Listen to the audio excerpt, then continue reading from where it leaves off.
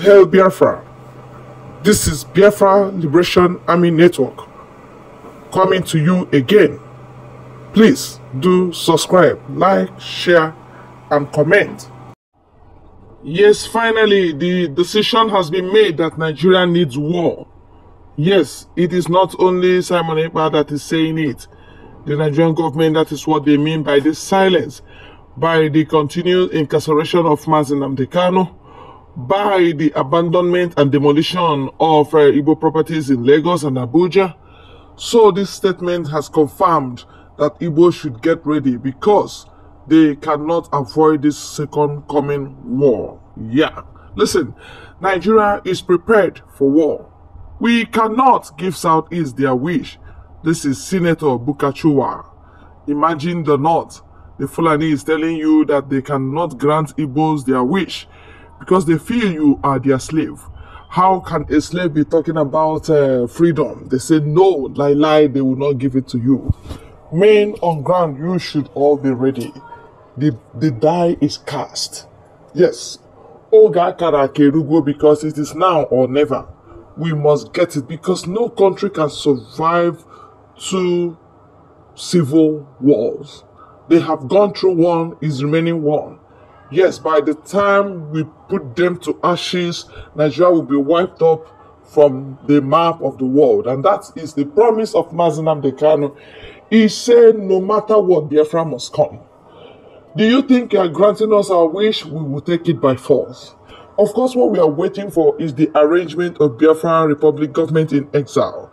Let the Prime Minister put everything in place as promised and then we'll take it by force by doing our self referendum. You will not even know when the Biafra will be declared. You will just be there moping because we'll do it diplomatically and systematically. Of course, I trust our Prime Minister and his co-ministers who are who are working tirelessly, wisely, and uh, intelligently to make sure that we have what we call our own.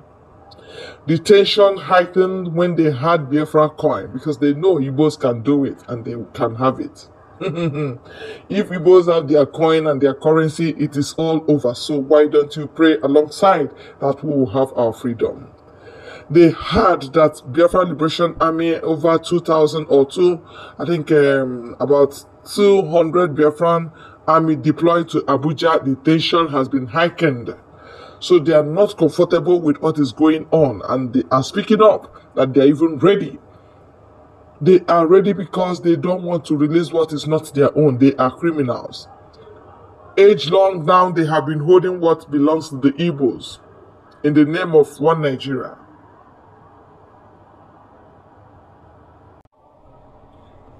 You never can imagine what the Northerners have in mind. They know these things they are dragging on is their own. That is why they will say Asa Bokasha Apokasha. they want to set everywhere and they say they are ready for war. Ask me who is saying this. Terrorists telling you they are ready for war. And uh, land does not belong to them. Fulani is in particular. The man speaking is a Fulani man. These are wanderers. These are infidels, criminals, you know, taking over what does not belong to them, getting rich and enriching themselves with indigenous people's wealth and properties. You see? He said, We are ready for war. I know there will be a State of the Nation broadcast tonight. Our Prime Minister who posted this will address it. Thank God he is the like of Nnamdi Kanu, who does not allows certain statements to go untreated because silence or carelessness is not an excuse.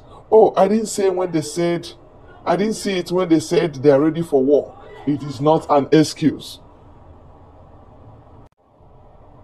Honest people will not say anything. The people speaking are northern elders. They will, eh, honest, they will not do as if they have heard because they are unity beggars using the properties of Igbos to beg for unity.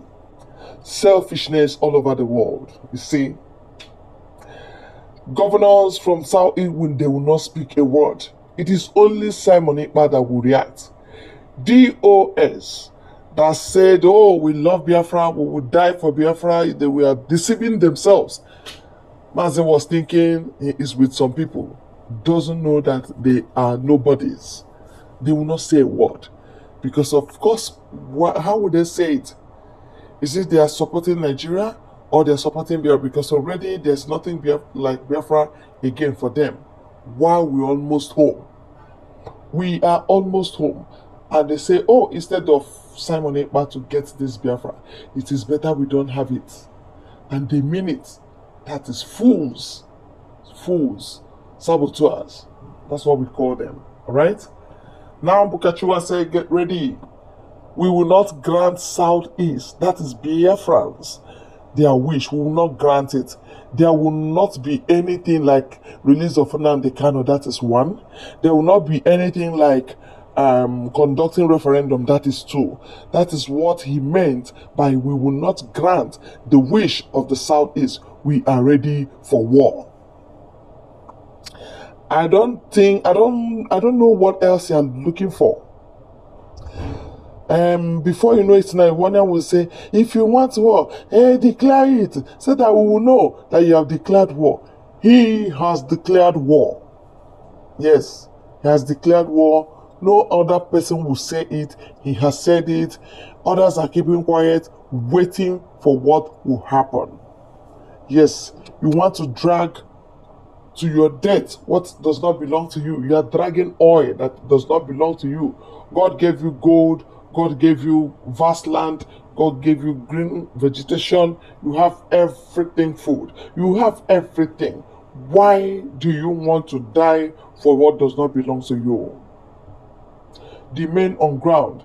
You should get ready. If that's woto woto, you are doing it five times. Please, this time around, do it one million times over.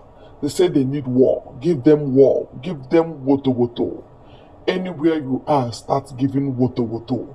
That is it. That is the only language they understand. If you are speaking grammar, they don't even understand it. If you are reading from now till tomorrow, they don't care about it. If you are begging them, oh, you are the most foolish, you are the most weakling. But if you give them back to back, they are the ones that will come out in the media to cry out because they must come out because the whole world must hear how it's happening and what is happening. That is the secret. Keep pressing the right button. Of course, we're not waiting for them for them to declare referendum again. No, we know they will not from their mouth say it, but we will take it by force.